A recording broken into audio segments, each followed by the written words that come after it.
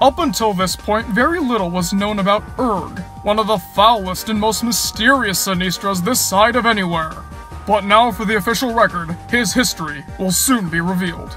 Born in Warwick, Rhode Island in 1947, Urrrg used to be a man by the name of Walton Burke, and he was perhaps the rudest man in the entire city.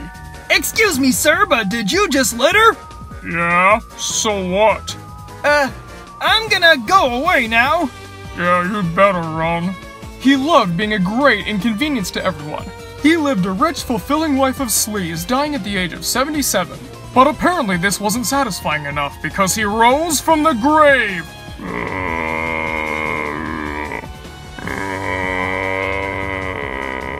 He was about to resume his life just as he'd left it, but everyone who saw him ran running and screaming,